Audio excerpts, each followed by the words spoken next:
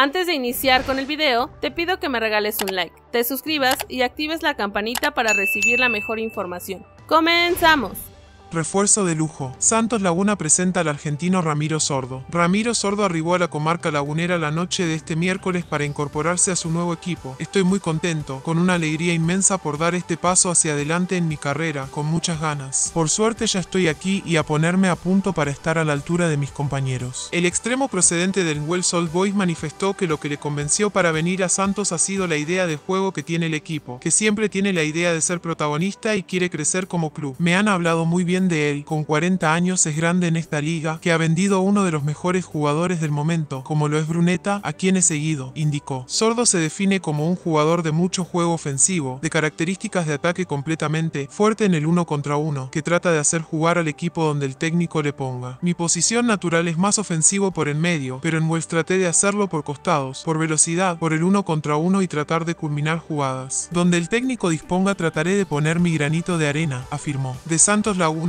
el jugador de 23 años mencionó que lo que ha escuchado, primeramente, es que está en un lindo lugar, en una liga que se está haciendo cada vez más fuerte. Me impresionó y me dio gusto que el club pese a la par del jugador, así que trataré de estar a la altura, como lo hizo Bruneta que se fue a Tigres. Por otro lado, Mateus Doria niega los rumores de su salida previo al partido frente a Rayados. Mateus Doria, defensor central de Santos Laguna, negó que haya dejado de estar en planes para el equipo guerrero a lo largo de la pretemporada. El brasileño naturalizado mexicano aseguró en rueda de prensa que trabajó con sus compañeros en la pretemporada, recordando que ante la inactividad tuvo que ganarse un lugar en el cuadro titular desde cero. A mí no me notificaron nada, yo tenía ahí la fecha de egreso junto a mis compañeros y estuve trabajando junto con ellos en la pretemporada y pues aquí estoy. No para nada uno regresa después de un mes de una lesión y no puede exigir nada, tienes que trabajar y buscar tu espacio desde cero, explicó el sudamericano. Respecto a su bajón de nivel, Doria comentó que es complicado dar un buen partido luego de tantos meses de inactividad y dijo sentirse feliz por estar en buen estado físico luego de haber sufrido una lesión. Siempre me ha plantado de una manera muy buena en el club desde que llegué aquí, pero obvio tenía que demostrarlo en la cancha pues, obviamente no estaba en el mejor momento después de estar parado algunas semanas, pues obvio tenía que esperar y ser consciente. Estoy muy contento del paso quirúrgico en el pie izquierdo y estar bien. Me da mucha tranquilidad para estar bien en la cancha, comentó. Respecto a cómo ve el equipo para el clausura 2024, Doria consideró que hay equipo para competirle a cualquier rival, pues luego de la renovación